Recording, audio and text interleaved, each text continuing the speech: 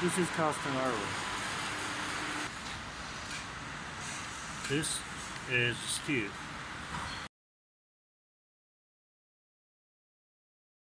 You can find it obviously cast iron.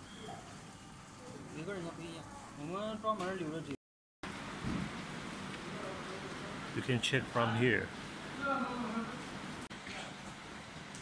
It has been obviously machined.